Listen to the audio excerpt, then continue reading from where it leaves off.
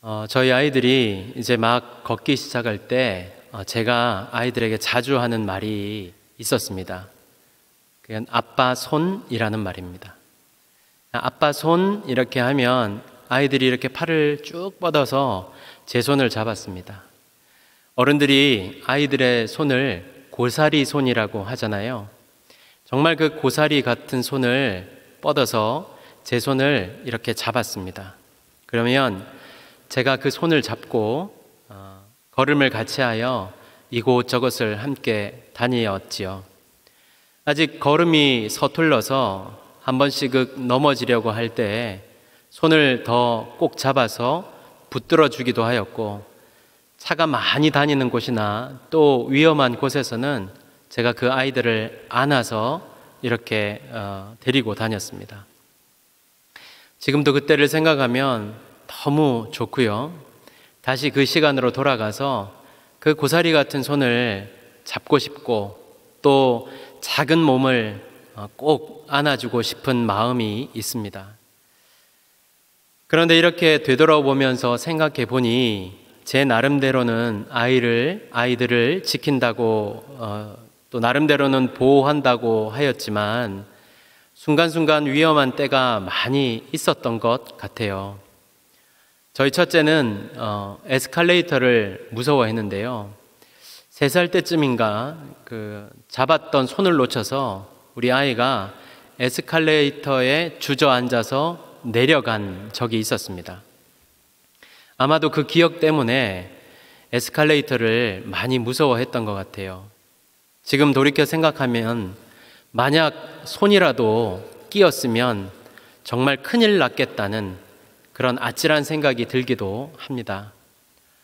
저희 둘째는 어, 어릴 때 둘이서만 이렇게 식사를 하러 간 적이 있었는데요. 식사를 잘 하고 나서 아이에게 아빠 계산하고 올 테니까 너 여기 움직이지 말고 꼭 가만히 있어야 돼. 라고 주의를 주고 일어나서 정말 빠른 시간 안에 계산을 하고 돌아왔는데 그 자리에 아이가 없는 거예요. 여러분 혹시 이런 경험은 있으십니까? 그 자리에 아이가 없으니까 순간 눈앞이 캄캄해지고 막 어찌할 바를 모르겠더라고요. 그래서 그 식당을 이리저리 막 어, 돌아다니면서 아이를 찾았는데 어, 마침 거기 그 아기들이 타는 이런 동전을 넣고 이렇게 막 타는 목마가 있는 거예요. 그 앞에서 그걸 신기하듯이 막 쳐다보고 있었던 거예요. 그래서 가슴을 쓸어내면 내리면서 너 왜 여기 있어? 아빠가 움직이지 말라 그랬잖아. 이렇게 했지만 아이는 뭐 별 관심도 없이 그냥 그것에만 이렇게 집중하는 모습을 보여주었습니다. 돌이켜보니까 이 외에도 위험한 일들, 아이들을 지키지 못할 뻔한 순간들이 참 많이도 있었던 것 같아요. 그래서 전에도 말씀드렸다시피 부모는 아이들을 지킨다고 하지만 나름대로 지키려고 할 뿐이지 온전하게 지킬 수도 없고 또 책임질 수도 없는 것이지요. 그것은 부모도 역시 부족하고 연약한 사람이기 때문 아니겠습니까? 사실 연약한 존재가 더 연약한 존재를 지킬 수 있다는 것은 전제 자체가 틀린 것이지요. 우리가 인생을 살아가면서 내 힘대로, 내 뜻대로, 내 마음대로 살 수 없는 것은 우리도 역시 부족하고 연약, 연약 한 존재들이기 때문입니다. 우리는 늘 누군가의 도움을 받아야 하고 누군가를 의지하지 않으면 살아갈 수 없는 그런 존재들입니다. 이토록 연약한 자들, 누군가 붙잡아 주지 않으면 하루라도 살아갈 수 없는 자들인 우리들에게 소망이 있는데 그분이 바로 예수 그리스도십니다. 우리 예수님이 우리를 구원해 주실 뿐만 아니라 친히 아버지가 되셔서 우리를 인도하시며 붙잡아 주시고 낮의 해와 밤의 달이 해치지 못하도록 상하지 않도록 지켜주시는 것입니다. 그러므로 인생의 어려움 속에서도 우리가 낙심하지 않고 낭망하지 않고 살아갈 수 있는 것이지요. 오늘 우리가 함께 말씀을 대하면서 주님이 나를 인도하실 뿐만 아니라 꼭 붙들어 주심을 깨달아 주님과 날마다 동행할 수 있는 우리 모두가 되시기를 바랍니다. 열 가지 재앙 후에 430년 어, 만에 하나님은 이스라엘 백성들을 애굽에서 인도하여 내셨는데요.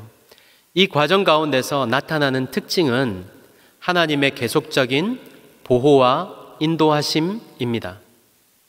보호와 인도하심이라는 말은 단순하게 어떤 특별한 사건이 있을 때만 그들을 보호하신다는 말이 아니라 이스라엘의 모든 행진의 과정 속에서 간섭하시고 개입하신다는 것을 말씀하는 것입니다. 특히 오늘 우리가 함께 보듯이 하나님은 이스라엘을 인도하시면서 불기둥과 구름기둥으로 인도하셨습니다.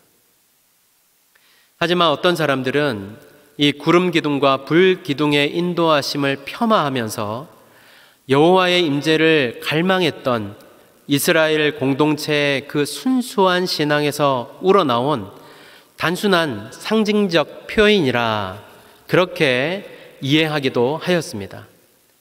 뿐만 아니라 단지 불을 피운 결과로 나타나는 현상을 표현하는 것이라는 해석을 하기도 합니다. 하지만 성경은 분명하게 이 불기둥과 구름 기둥의 역사를 하나님의 인재하심과 이스라엘 백성들을 향한 은혜라는 것을 말씀하고 있습니다. 그렇다면 이 구름 기둥과 불 기둥이 우리들에게 가르쳐 주는 것은 무엇일까요? 첫째는 하나님의 인도하심입니다. 21절을 보면 여호와께서 그들 앞에서 가시며 라고 말씀하는데요. 이 표현은 여호와께서 이스라엘 앞에서 그들을 인도하며 계속 걷고 있는 상태를 표현하고 있는 것입니다. 앞서도 말씀드렸다시피 한 번만 그렇게 한 것이 아니라 이스라엘에게 계속해서 그렇게 하셨다는 것을 강조하고 있는 것입니다. 특히 앞에서 인도하셨다라는 말은요, 따르는 자들이 다른 것을 보지 않고 인도하시는 분, 하나님만 따라가기만 되면, 하면 되었다는 것을 말씀하는 것입니다. 마치 새끼 오리들이 엄마 오리를 졸졸졸졸 그렇게 따라다니는 것처럼 그렇게 쫓아가는 것을 표현하고 있는 것이지요. 그런데요, 혹시 우리들 중에 이 구름 기둥과 불 기둥을 보시는 분이 계십니까? 여러분 혹시 이게 보이십니까? 만약 여러분 눈앞에 무엇인가가 보이신다면 제 생각에는 병원을 먼저 가시는 것이 좋을 것 같습니다. 그렇지 않습니까? 만약 우리 눈앞에 막 불이 보인다든지 아니면 구름이 막 이렇게 보인다든지 하면 그럼 병원을 한번 가보셔야 돼요. 하지만 그렇다고 해서 우리 삶 가운데 인도하심이 없을까요? 그렇지 않지요. 하나님의 인도하심은 지금도 분명하게 있고 때로 말씀을 통해 우리의 기도를 통해 또 사람과 환경을 통해 그 인도하심을 알 수 있습니다. 중요한 것은 우리가 그것을 보느냐 보지 못하느냐가 아니겠습니까? 하나님은 지금도 우리를 인도하십니다. 이것은 결코 부인할 수도 부인해서도 안 되는 사실입니다. 그런데 이스라엘 백성들 중에 구름 기둥과 불 기둥으로의 인도를 무시하고 사는 사람은 없었을까요? 구름 기둥이 떠서 다른 사람들은 자신들의 짐을 다 챙기고 있는데 혼자 지금은 때가 아닌 것 같아. 지금은 머물러야 되는 때인 것 같아. 라고 하면서 그 자리를 고집하는 사람이 없었을까요? 불기둥이 떴음에도 저 불기둥이 아니라 다른 불기둥이 우리를 인도할 것이라면서 그렇게 주저앉으려는 사람은 없었을까요? 신명기 8장 2절에서 4절을 보면요. 이렇게 말씀합니다. 내 하나님 여호와께서 이 40년 동안에 내게 광야 길을 걷게 하신 것을 기억하라. 이는 너를 낮추시며 너를 시험하사 내 마음이 어떠한지 그 명령을 지키는지 지키지 않는지 알려 하심이라. 너를 낮추시며 너를 줄이게 하시며 너도 또 너도 알지 못하며 내 조상들도 알지 못하던 만나를 내게 먹이신 것은 사람이 떡으로만 사는 것이 아니요 여호와의 입에서 나오는 모든 말씀으로 사는 줄을 내가 알게 하려 하심이니라. 이 40년 동안에 내 의복이 헤어지지 아니하였고 내 발이 부르트지 아니하였느니라. 이 신명기 말씀에서 하나님은 이스라엘 백성들이 광야길로 행하게 하시며 그 마음이 어떤지 그 명령을 지키는지 지키지 않는지를 보려 하셨다고 합니다. 이게 무슨 말인가요? 구름 기둥과 불 기둥으로 인도함을 받음에도 순종하지 않는 자들이 있었다는 것입니다. 다시 말해 예수님을 믿고 따르면서도 여전히 순종하지 않고 내 뜻과 내 마음대로 살아가는 사람이 있다는 것을 말해주고 있는 것입니다. 아직도 내 고집과 교만대로 행하려고 하고 내 방법과 내 뜻대로 행하려 하는 때가 우리에게는 있다는 것이지요. 하지만 하나님의 인도하심을 믿음으로 취하지 못한다면 우리는 교만으로 행할 수밖에 없고 결국 그 길은 바른 것 같아 보일 수는 있지만 하나님의 인도하심을 받지 않는 위태로운 길일 수밖에 없다는 사실을 여러분 꼭 기억하시길 바랍니다. 우리 주님의 인도하심을 받는다는 것은 어쩌면 쉬운 일이나 또 어쩌면 어려운 일입니다. 왜냐하면 우리가 늘 기도하고 깨어 있다면 분명히 우리를 인도하시는 하나님의 손길을 볼 수 있을 것이기 때문입니다.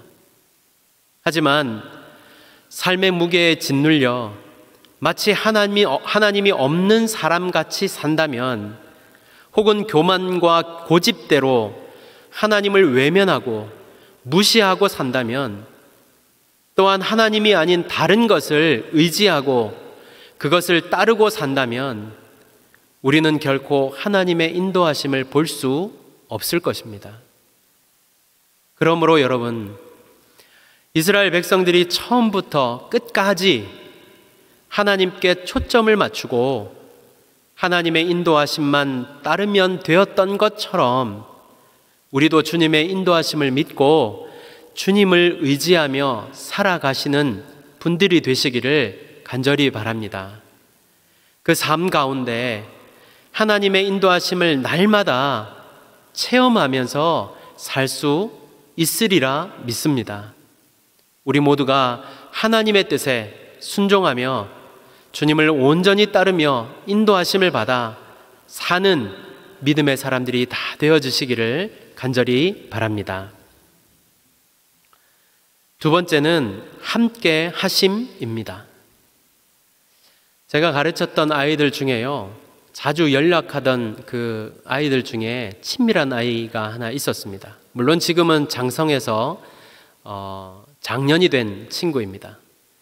이 친구가 한 번씩 연락을 이렇게 해왔는데요. 이렇게 이야기를 나누다가 제가 꼭 이렇게 한 번씩 물어보죠. 그래, 너 어디냐? 지금 어디야? 이렇게 물어보면요. 꼭 이렇게 대답을 했습니다. 여러분, 먼저 제가 여러분에게 주의를 당부하는데 이 말을 들으면서 손발이 오그라들 수 있습니다. 너 어디야? 이렇게 물으면 꼭 대답하기를 전도사님 마음속 이렇게 대답을 했습니다. 네, 조금만 참아주시고 네, 들어주시길 바랍니다.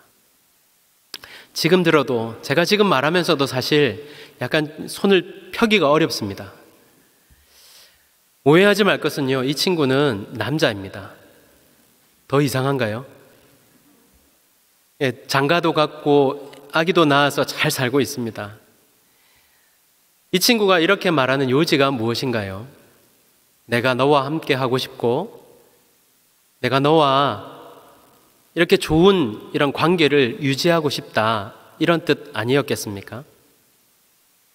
하지만 이런 친구들도요, 멀리 떨어져 살고 나이가 들어감에 따라 또 사회생활을 하다 보니까 점점 연락도 뜸해지고 그러다 보니까 이렇게 가끔 연락하는 그런 관계가 되어 버리더라고요.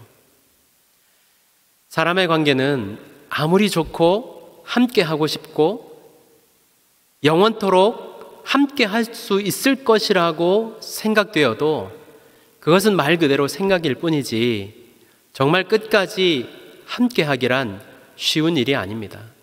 더구나 사람은 연약해서 아무리 좋은 사람이라고 해도 약점과 단점들, 여러 가지 요인들로 인해 관계를 지속하기 어렵습니다. 무엇보다 함께 있다고 해서 그 사람이 우리를 지켜주거나 도움이 될 수 없습니다. 그러나 우리 하나님은 끝까지 나와 함께 하시고 도와주시는 분이 되시지요. 비록 나는 연약해서 주님의 손을 놓을지 모르지만 우리 주님은 끝까지 나의 손을 붙잡고 함께하는 도우시는 하나님이십니다. 22절에서 구름 기둥과 불 기둥으로 백성 앞에서 떠나지 않았다고 말씀하고 있는데요. 이 말씀을 직역하면 그 백성 앞에서 영원히 떠나지 아니한다 라는 말인, 말입니다. 이 말은 하나님께서 이스라엘 백성들을 구름 기둥과 불 기둥으로 끝까지 지켜주실 것을 나타내며 보호하신다는 것을 말해주는 것입니다. 다시 말해, 하나님은 하나님의 백성의 삶 가운데 임재하셔서 하나님의 백성을 보호하신다는 말인 것이지요. 어떻게 해요? 시편 121편 5절에서 8절은 이렇게 말씀합니다. 여호와는 너를 지키시는 이시라 여호와께서 내 오른쪽에서 내 그늘이 되시나니 낮의 해가 너를 상하지 않게 상하, 상하게 하지 아니하며 밤의 달도 너를 해치지 아니하리로다. 여호와께서 너를 지켜 모든 환란을 면하게 하시며 또 내 영혼을 지키시리로다. 여호와께서 너의 출입을 지금부터 영원까지 지키시리로다. 우리 예수님도요, 마태복음 28장 20절에서 볼지어다 내가 세상 끝날까지 너희와 항상 함께 있으리라고 말씀하셨습니다. 우리 하나님은 결코 우리를 버리지 않으실 뿐만 아니라 시편 121편 이 말씀과 같이 우리와 함께 하시는 분이십니다. 주님 우리와 늘 함께 하셔서 모든 것으로부터 지켜 주실 것입니다. 이 믿음으로 사는 저와 여러분 모두가 되시기를 간절히 바랍니다. 제가 이전 교회에서 3년 정도 사역을 했었는데요. 당시 사역을 하면서 어, 제 마음에 좀 큰 어려움으로 인하여서 제가 과연 이 사역을 계속하는 것이 맞는지 아, 이게 사역이라면 나는 더 사역을 할 수 없다. 내가 사역을 하는 것은 맞지 않겠구나라는 결론을 가진 적이 있었습니다. 거의 2년 동안 이 문제를 가지고 음, 하나님 앞에 나아가 기도했는데 그때마다 하나님은 제게 복을 주마라고 약속을 하셨습니다. 저는 그게 소위 말하는 길을 열어주시는 그 응답이라 생각을 했었습니다. 하지만 3년째 되던 해에 사임 의사를 밝히고 몇 군데 이렇게 이력서를 냈지만 12월 마지막 주일 인사를 하는 그날까지 아무 일도 일어나지 않았습니다. 저는 그때 속으로 아, 이렇게 하면 적어도 한 7개월 정도, 7월까지는 그냥 쉬는 시간을 가져야 되겠구나 라고 생각을 했습니다. 하지만 하나님은 계속해서 복을 주마고 응답을 하셨고 그 말씀을 믿음으로 취하며 사는 방법밖에 제가 할 수 있는 것은 아무것도 없었습니다. 응답하셨지만 응답을 붙들고 산다고는 했지만 하루하루 불안했습니다. 약속을 받았지만 믿음으로 바라본다고 하였지만 문득문득 솟아나는 인간적인, 인간적인 두려움은 버릴 수가 없었습니다. 이런 상황 속에서도 한 가지 멈추지 않은 것이 있었는데요. 저희 아내와 함께 예배의 자리와 기도의 자리는 늘 지키고 있었습니다. 교회를 사임하고 나니 단일 교회가 마땅하지 않아서 제 모교회인 수영로 교회를 가려고 했었는데 거리도 멀고 해서 그냥 포기하고 가까운 교회를 선택해서 가게 되었습니다. 우연히 간 그곳에서 하나님은 제 마음을 만지셨고 무너졌던 사역에 대한 이 갈증 혹은 궁금증을 해소시켜 주실, 주셨을 뿐만 아니라 회복시키시는 그 하나님의 손길을 만날 수 있었습니다. 만약 그 시간이 없었으면 저는 어쩌면 지금도 괴로워하며 사역이 아닌 먹고 살기 위해 사람 눈치 보며 일하는 사람이 되었을지도 모릅니다. 목사가 기도하고 예배의 자리를 지키는 게 뭐 대단한 것이냐고 어, 하시겠지만 대단한 것이라고 말씀을 드리는 것이 아니라 당연히 해야 할 것을 했다고 말씀드리는 것입니다.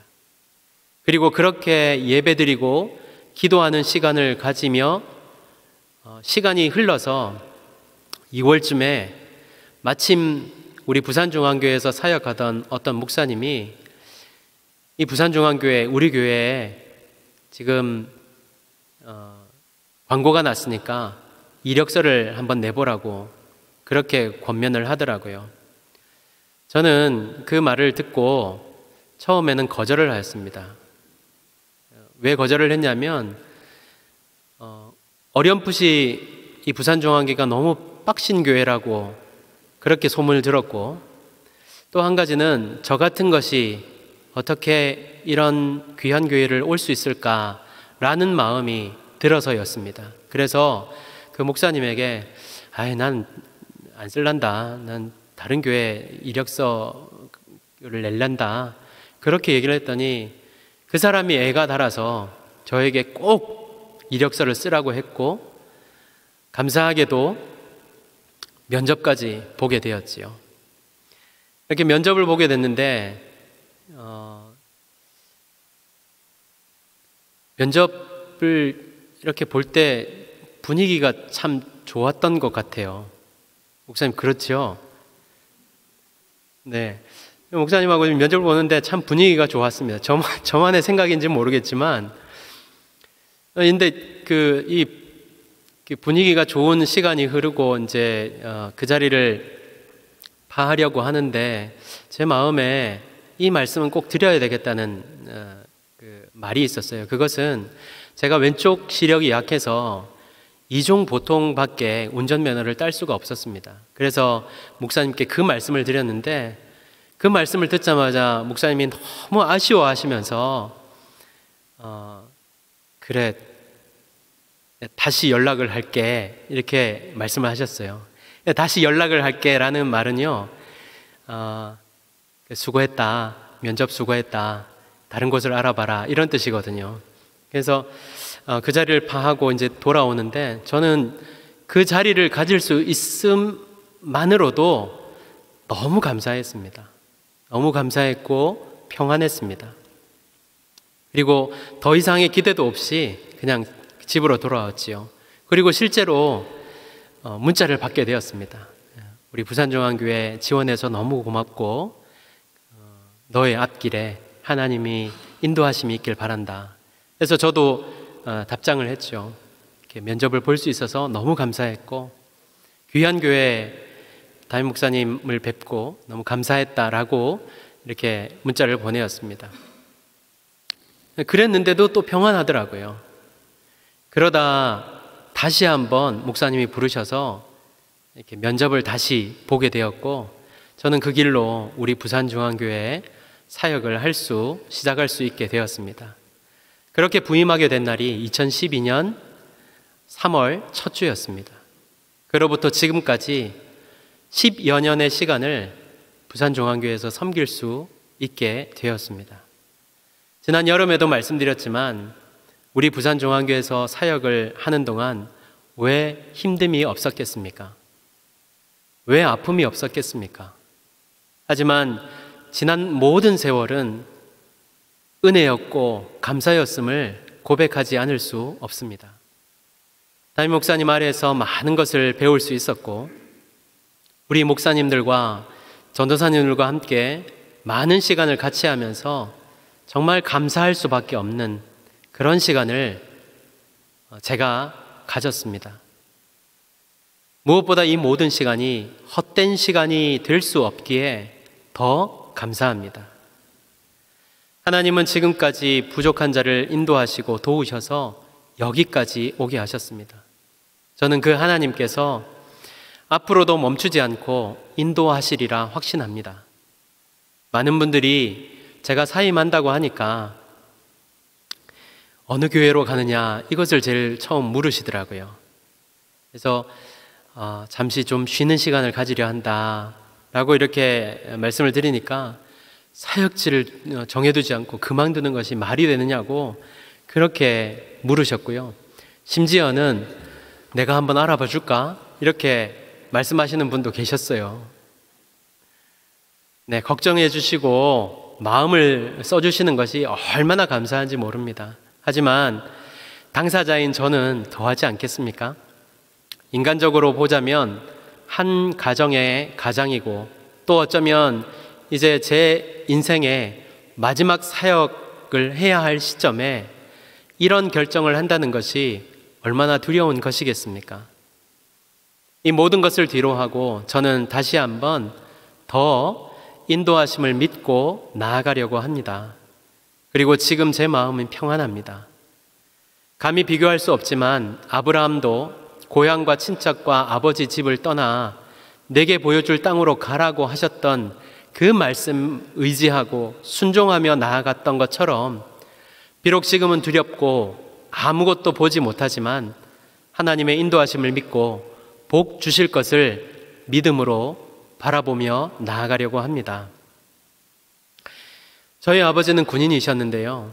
군인이사, 군인이라서 그런지 아니면 옛날 분이라서 그런지 모르겠지만 항상 어머니보다 어, 저희보다 앞서서 걸으셨습니다. 그걸 보고 은연중에 배워서 그런지 저희 가족과 함께 나설 때면 저도 한 번씩 가끔 이렇게 앞서서 걸어갈 때가 있어요. 물론 그때마다 제 아내가 쏘는 레이저를 맞고 아차 싶어서 뒤돌아서 아이들과 또 아내와 이렇게 같이 걸음을 맞추곤 합니다. 사람은 앞서서 걸을 때 뒤따르는 사람을 볼 수 없을 뿐만 아니라 급한 상황이 생길 때에도 대처가 어렵습니다. 하지만 하나님은 우리를 앞서 인도하실 뿐만 아니라 함께 하셔서 보호해 주십니다. 가야 할 때와 멈추어야 할 때, 가야 할 곳과 가야 하지 말아야 할 곳을 친히 가르쳐 주실 뿐만 아니라 인생의 어려운 일과 급한 상황을 만날 때에도 개입하시고 간섭해 주셔서 고난에서 헤쳐나올 수 있도록 낙심하지 않도록 도와주십니다. 그러므로 우리의 모든 걸음걸음을 주님께 맡기고 주님의 인도하심을 따라 사는 우리 모두가 되시기를 바랍니다. 주께서 저의 인생뿐만 아니라 여러분 모두의 삶을 책임지셔서 한치 앞을 알지 못하고 사는 우리들을 끝까지 인도하시고 도와주시며 함께 하시리라 믿습니다. 이것을 믿으며 하루하루를 사는 저와 여러분 모두가 되시기를 간절히 바랍니다.